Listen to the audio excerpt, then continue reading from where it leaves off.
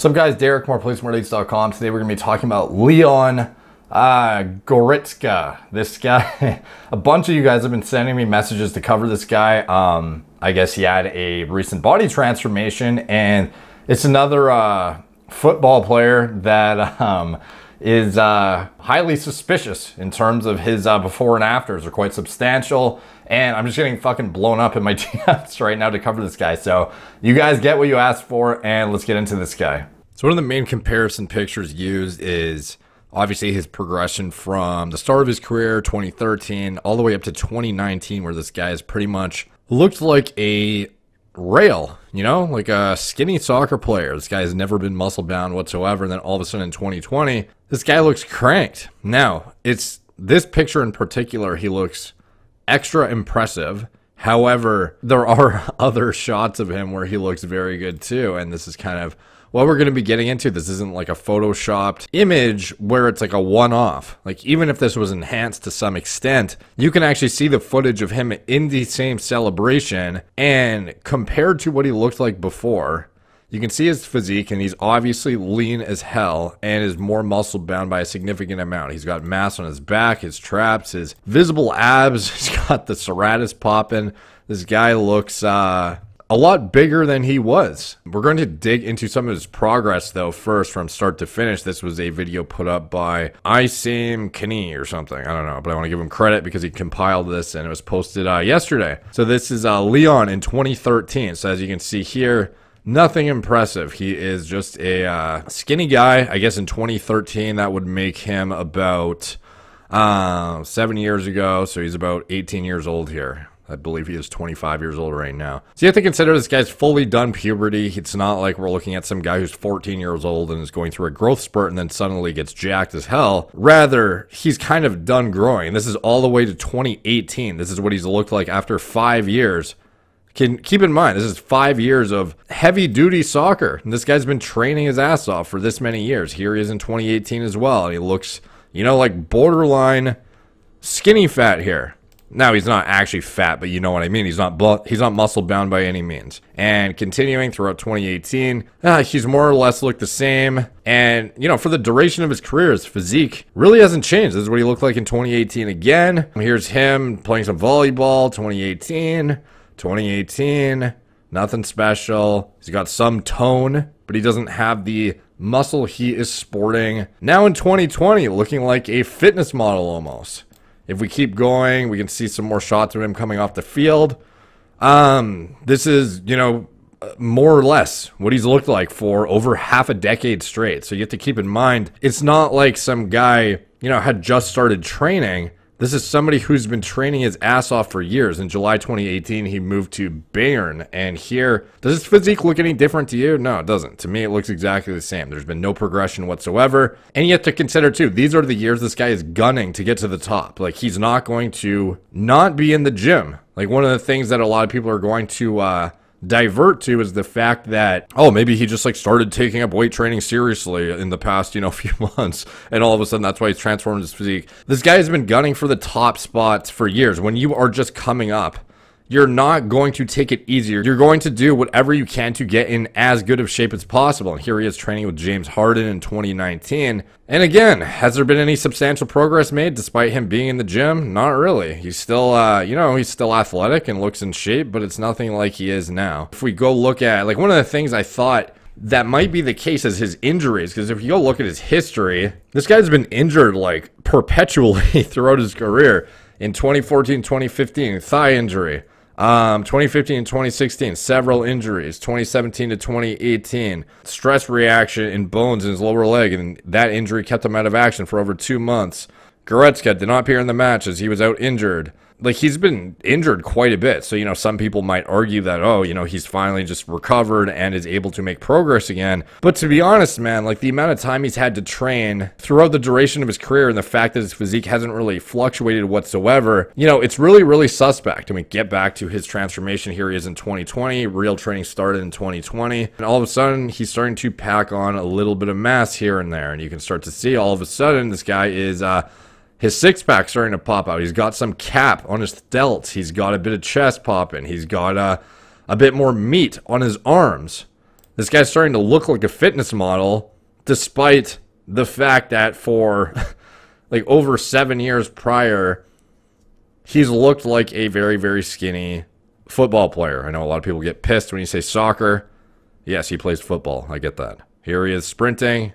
Guy looks good. Um, and the progress here is boxing, July 2020, more recent. And all of a sudden, this guy's looking like he could be a fucking model for Armani. He's got a sick physique, and then at the end, he's uh, his teammates are like pulling up the sleeve to show his biceps. Like this guy at the end, August 2020. This is the shot everyone is looking to, and everyone is asking, is this guy natty or not? And you can see him.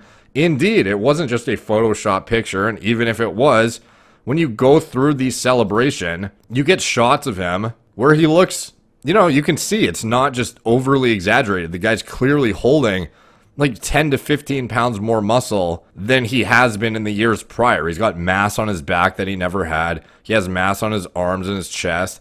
And the most important thing about it is he's maintained the same level of body fat or gotten leaner during the process. This guy has way deeper ab cuts than he ever has. In fact, he's never had ab cuts in the past. And now all of a sudden, this guy has a visible six pack. He's got a slicey fucking serratus and he's got mass on his upper back, arms, just everywhere. This guy looks much better than he used to. And we can see a substantial amount of progress and it's almost purely lean tissue. So, anyways, going through, there's a lot of articles about this guy and a lot of hype behind his uh, transformation. Ripped Leon Goretzka rivals Robert Lewandowski as Bayern Munich's muscle man as midfielders pictured looking shredded with Champions League trophy. Not only has the Bayern Munich ace emerged as one of the best box-to-box midfielders in the world, he's also gone through an extraordinary body transformation. So he went from a scrawny mid- midfielder to an absolute rock of a box to box player after making the switch from Schalke to Bayern in 2018. Goretzka cut a scrawny finger in the middle of the park and struggled for consistency in his early days, blah, blah, blah. Monday, Bayern posted a picture of their midfielder posing topless with the trophy, leading many fans to wonder what the European champions have been feeding him, with exclamation mark. Goretzka used the enforced absence to pile on the muscle. It is understood the 25 year old piled on the muscle during lockdown and even earned the attention of his former Schalke teammate Roman gonna fucking murder this name. Neustadter. Neustadter, who was desperate to learn his secrets. N- whatever his name is, told the Sun, after I've seen his development, I wrote to him directly to send me the exercises he was doing, exclamation mark. Even at Schalke, we saw that he has the physical abilities to build muscle mass without harming his game. Really? I have not seen evidence of him having the ability to build muscle mass throughout the duration of his career, to be honest. And from all the way to 2013 to 2018 to 2019, I have not seen any evidence of this whatsoever. So that is a bit of a suspect statement, in my opinion. Continuing on, of course, he made the best possible use of the coronavirus break. And I agree. You can't just decide for yourself, so I'm going to gain a few pounds of muscle mass. You're right, you can't. This guy has packed on what appears to be perhaps in the double digits, dude. Like this guy has packed on a fuck ton of size. Let's get into one of the next articles. Hulking Leon Goretzka shows off bulky, bulging biceps and ripped body as Bayern Munich star holds Champions League trophy. Do you think he's been working out? Question mark. I don't know, man. It's a good fucking question. His bulging biceps were on show for all to see, along with his chiseled ab- his chiseled abdomen. Not ab, not with his abs, his chiseled abdomen. Can you imagine stepping on a bodybuilding stage and you're getting reviewed and critiqued by the judges? Look at that chiseled abdomen, guys. Goretzka piled on the muscle during a lockdown, and Sunsport previously took a look at his impressive transformation.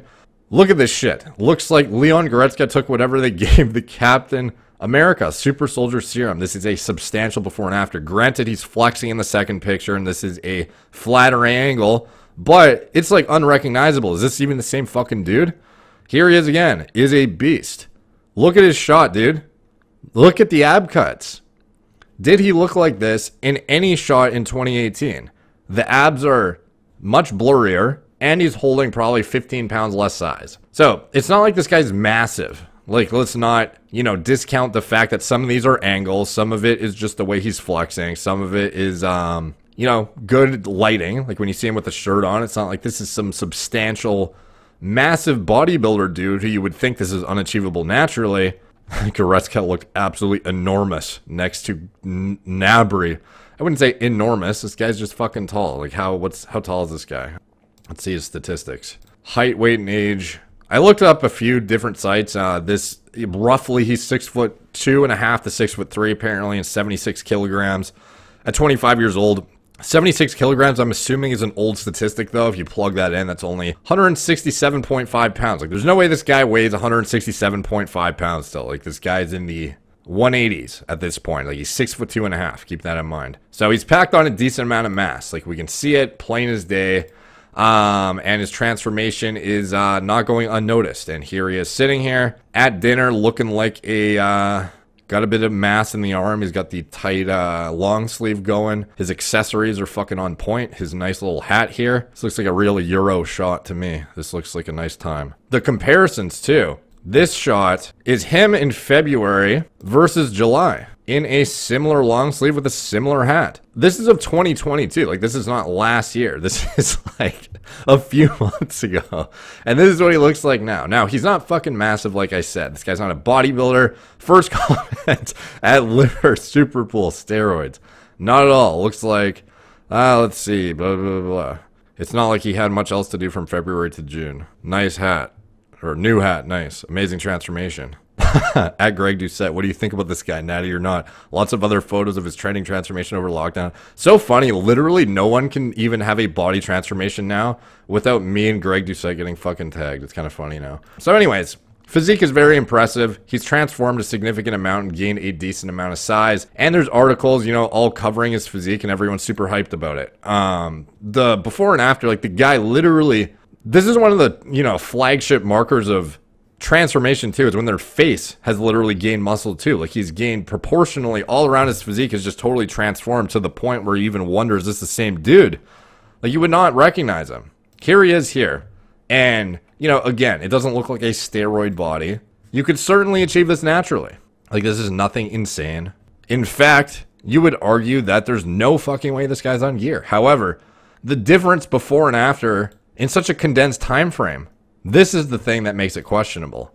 Now, we obviously saw the uh, celebration that kind of confirms that that shot with the trophy isn't just like a Photoshop pic. It's actually fairly representative of what he actually looks like from what we can tell. You know, like we see this shot here.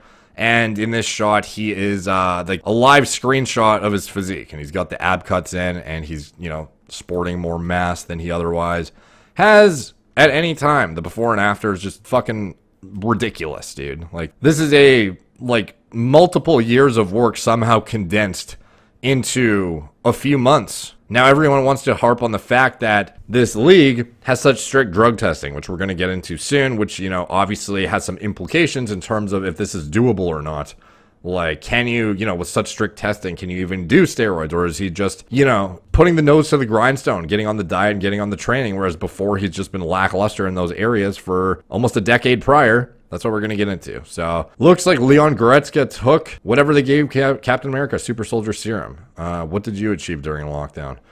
Uh, let's see what else. Seriously, that dude is jacked. He and Ad- he and Adama got the same trainer. The same trainer makes them not do weights. No, I don't do weights. I don't do weights. Rumor has it they train their trainer. this is a good gif. Bayern during medicals. LOL. Super Soldier gif. Gym life gif. Let's see. I think Lewandowski's bulked up a bit too, unless it was Photoshop. Haven't seen the picture again. Um, let's see. That's a different person. Some of these tweets are so fucking funny. Beast mode, hard, hard work pays off. Leon Goretzka. What the fuck are they feeding him down there in Germany? First picture is from August 2018. Oh, is that the case? Maybe. But still, you can't deny that this guy looks substantially different than he did earlier this year. Like, no matter how far you dig, like, this guy's made a impressive transformation. So many people here that have never been in the gym in their life, let alone research gear. Man lives at 10% body fat and has access to the best facilities and trainers in the world. Because we all know the best trainers in the world are always the most, you know, reputable guys. It's so hard to find a guy who knows how to tell you to eat chicken, rice, and broccoli, right, guys? So many times people want to say, oh, you know, this guy has access to the top trainers, the top diet, the top blah, blah, blah. It's like, it's not that hard to create a decent diet model. And frankly, some of the top trainers in the world are the ones that are using outdated literature to provide micronutrient deficient diet models. Like you have actors who are getting paid more than these soccer players to do movie roles, and they're getting prescribed diets of chicken, rice, and broccoli to literally prepare to play a superhero. Brown rice, grilled chicken, broccoli, a gallon and a half of water a day. So if those guys have the literal cream of the crop, best trainers, best nutritionists, and they're getting told to eat chicken, rice, and broccoli six times a day, do you really expect that just because this guy is a football star, that he is potentially not going to have the same level of trainer who might give him the same kind of thing? And even above and beyond that, like it really doesn't take a qualified individual to tell you how to eat a fucking carrot or a pepper or some sort of mixture of greens or whatever to hit your micronutrient needs or how to hit your mineral and electrolyte needs. Like it's really not that difficult. It's not like there's some superfoods that these guys have access to that the rest of us don't. So that is always a terrible excuse, in my opinion, for why a guy's sudden transformation occurred in a matter of eight to twelve weeks. LOL, Goretzka doesn't look nearly as buff as you. He was skinny as fuck and has had like six cardios per week plus the actual game, and you're telling us it's completely normal to put on so much pure muscle in 12 months under those conditions? I would agree, man. Like, how common is it for a guy to be training for years prior? Like, even after his injuries, there's footage of him in the gym. Granted, some of this was rehabilitation, but it's not hard to find footage of him in the gym, putting in work, squatting, doing heavy compound movements. This guy gets in the gym and tries to pack on size, and he has for many years prior. It's not like he just goes into the gym and gets under the squat rack and doesn't put on muscle for several years and then somehow all of a sudden explodes during quarantine. Like, does it not seem like a bit too coincidental that all of a sudden during quarantine this guy blows up? Champions of Europe, new one rep max. Could you let us know your diet and exercise schedule, please? he eats collapsing stars and benches your hopes and dreams. Uh, let's see. What else? Look at that biceps. Oh my god. All right, calm down, buddy what y'all feeding your players at FC Bayern? Some of the shit people come up with on Twitter is so weird. Goretzka is like the Terminator. Dude's a tank. You might want to try WWE. Beefcake. When did Goretzka turn into a machine? There's a lot less uh, accusations of gear on the uh, soccer pages. Interesting, or the football pages. Sorry. Seriously, at Leon Goretzka, what is the secret? Must be something in the water. Trust me, man. Goretzka went from tiny to beast mode in a short time interval. Not a short period of time, a short time interval. Steve Rogers, injections. Chicken, steroids, weights, roids. Well, these are all one word fucking things. PEDs, trend, lockdown, Photoshop, steroids, puberty, question mark. Uh, that's funny. It's called steroids, Darren. Um, so anyway, this guy, again, like we, we know he's six foot two and a half or six foot three. It's hard to fill out a frame that's that tall. And we knew this guy weighed like in the 160s a couple of years ago. And now all of a sudden, he's walking around looking like a fitness model. So, what is the probability that he's natural? Knowing that he's trained prior for years, I would say low, to be honest. I would say that this transformation in the short time frame, the fact that it was done in a matter of a few months, it seems all too coincidental that it was done during quarantine. And, you know, just so happens we can't, you know, test you as strictly as we need to, and then all of a sudden you've blown up. Is that not too much of a coincidence? Like, even when you look at, let's just hypothetically say he's never done anything before, and this is his first attempt at anabolics, even if it was a short term blast and then he cleared everything out of his system in time, maybe he will, you know, shrink down a bit or whatever, but you can still retain a permanent performance enhancing advantage from using gear, even if it was one time. So maybe he, who knows what he's going to do? Is he going to continue? And this is just me, you know, assuming that he did something, you know, you could argue that even if he did one thing, he may be able to retain some performance enhancing advantage for years. Like if you look at some of the most recent clinical literature, we see skeletal muscles do not undergo apoptosis during either atrophy or programmed cell death, revisiting the my- myonuclear domain hypothesis. So basically, In this, it states that the discovery that myonuclei are retained indefinitely emphasizes the importance of exercise in early life during adolescence. Muscle growth is, is enhanced by hormones, nutrition, and a robust pool of stem cells, making it an ideal period for individuals to bank myonuclei that can be drawn upon or remain active in old age. And that's when you dig further into this uh, into this literature, you see that. But basically, what it means and what this whole abstract is alluding to here is if you take advantage of high endogenous androgen levels in your youth, you can create a bank of myonuclei that you can draw off of later in life when gaining muscle would otherwise be harder than it is when you're 21 years old or something. You had peak natural testosterone production. But the same principle extends to exogenous steroid use, as a user could create a bank of myonuclei that would otherwise be impossible to produce naturally and then reap performance enhancing benefits from that myonuclei bank throughout their life, even years after they've discontinued performance enhancing drug use.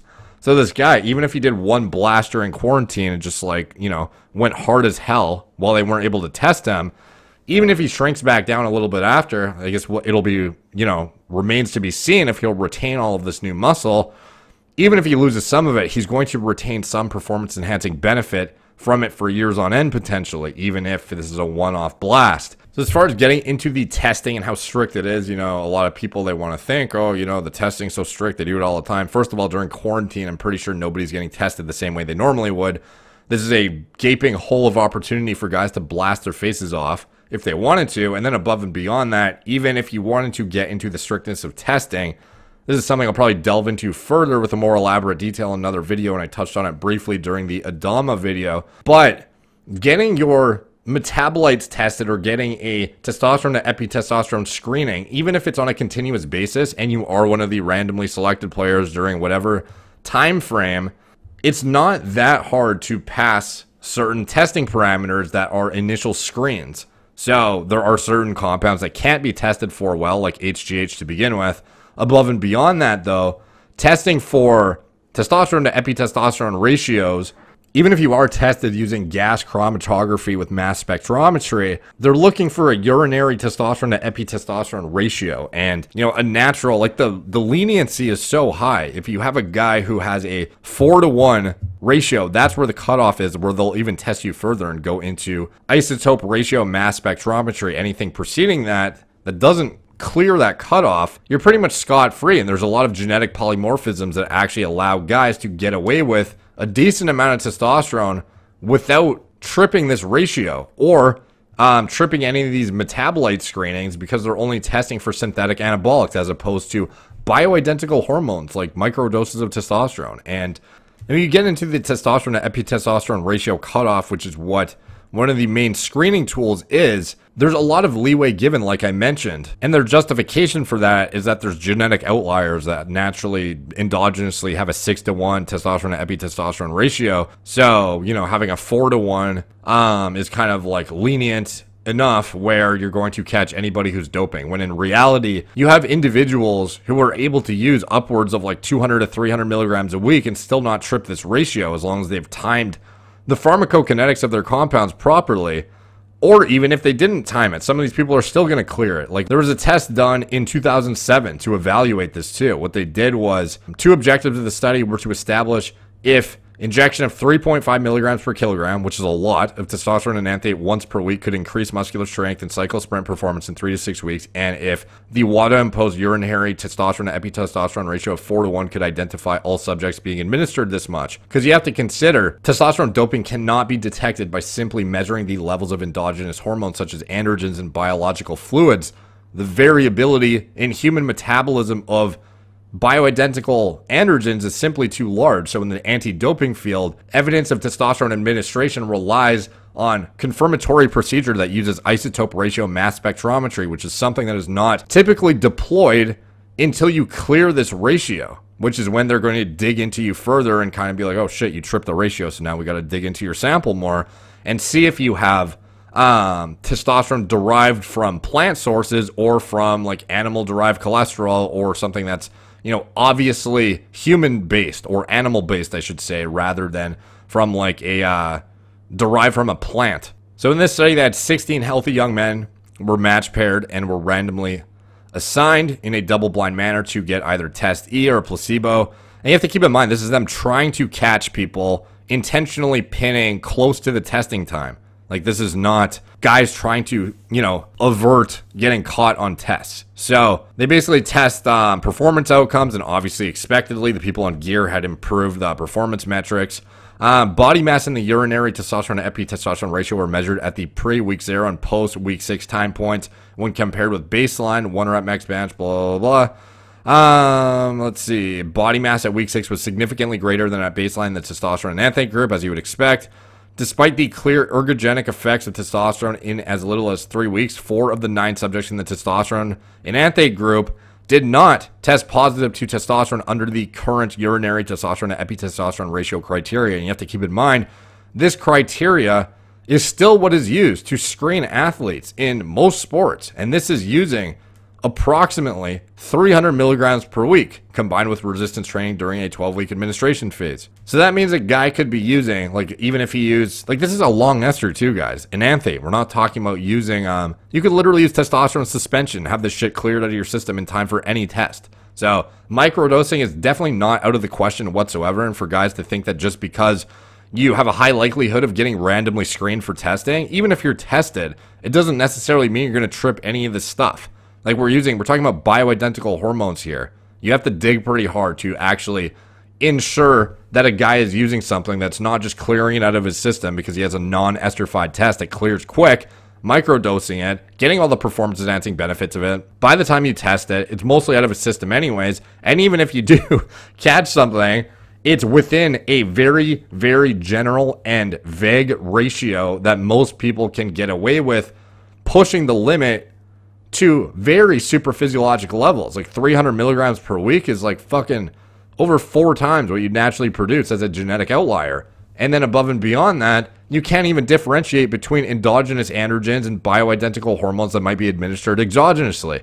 So, and that's, you know, if unless you really trip some test that then forces them to look into you further. So, for people to assert that just because a guy is tested on a regular basis or he has, he's at risk of being tested on a regular basis that it somehow makes him exempt from using anabolics is just ridiculous, in my opinion. If you know how to leverage bioidentical hormones and understand the shortcomings of these very vague and very general and giant loophole tests that are done to screen for this stuff, like basic metabolite screenings using gas chromatography, mass spectrometry, and looking for urinary testosterone to epitestosterone ratios and whatnot in order to even qualify you for more intense, strict testing. When you have guys who could be using stuff that clears out of your system within hours, that even the tests that are evaluating long esters, you can still half the guys are circumventing them and that's when you're actually trying to find guys who are cheating using long esters which is just insane to me that people wouldn't understand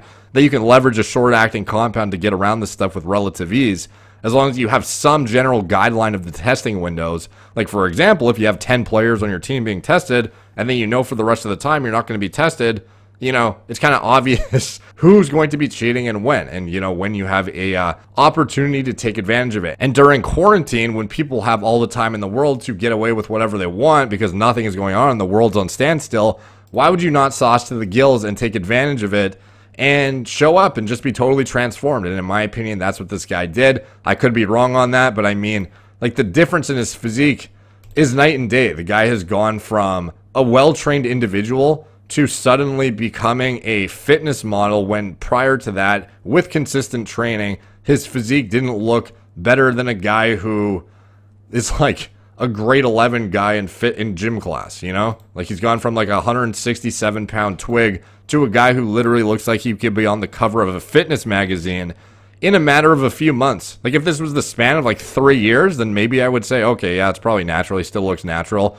But guys, this guy has been well trained for years, and all of a sudden at 25 years old, after being a pro for several years prior, this guy gains like 10 to 15 pounds of lean tissue in a matter of months. Like he's gained like one pound of lean tissue like every other day for like a couple of months, and shows up looking cranked out of his tree. So no, I don't think this was natural, and I think he probably did something during quarantine and is uh, reaping the rewards of it now. And um, that's not um, to uh, throw shade at him or anything. I just, you know, people ask me for my opinion. That's what I think. I could be completely wrong. Let me know what you guys think in the comments down below. Is this transformation natural? Is Leon Goretzka totally natty? And um, if so, if you uh, think that he wasn't or he was, you know, give your reason, give your justification down below because, uh, you know, all the dialogue helps push the algorithm. So whether you are, uh, you know, agree or disagree, it doesn't really matter. It helps push the video to a new audience, and it's much appreciated when you guys do that. If you want to get more deep dives into bodybuilding pharmacology, subscribe to the channel. Follow me on Instagram at more plates underscore more dates, Facebook, Snapchat, BitChute, Twitter, TikTok, Apple Podcasts. If you want to support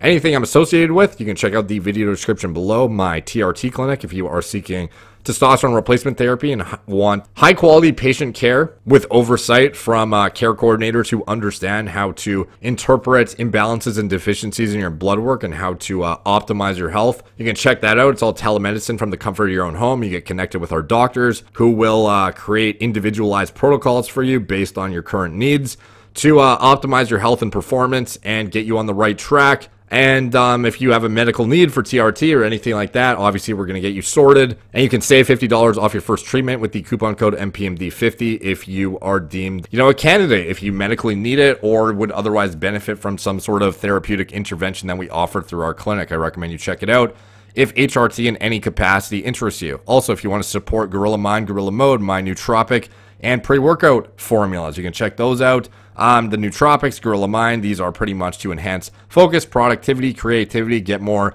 productive work hours milked out of each day. This is what I use personally to get 14 hour work days done on a consistent basis and keep my level of productivity high. If you want to check out the pre workout, self explanatory what those are, just check out your current pre workout, pull it out, compare the label to ours. Gorilla Mode Classic with the max efficacious dose of NO precursors, hyperhydrating agents, plasma expanders, and cognitive enhancing ingredients. This is pretty transparently one of the top products in the industry, in my opinion. And then we have the stimulant free formula, which is even more maxed out in the NO precursor and hyperhydrating categories with no stimulants whatsoever. So you can use it at nighttime. And when I say max efficacious dose, I literally mean max efficacious, not just the minimum amount that reaches a clinical endpoint in a study like a 6 gram citrulline malate dose. I'm talking 10 grams of literal pure L-citrulline, not inflated with malic acid, like literally to the point where an extra gram would not produce any additional benefit whatsoever.